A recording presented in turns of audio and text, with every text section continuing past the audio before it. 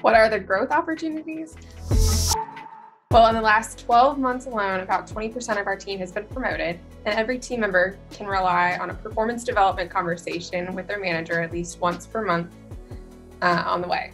We've developed a performance development program which includes clear career tracks for every role, documented process training, and a practice that enables individuals to manage their own growth. With the support of every person's manager, coaching from our human resources business partner, and several days per year dedicated to growing our skill set. Lastly, our projects require a lot of growth. When you're working in such an exciting set of business and technical problems, there's no other way to succeed beyond growing.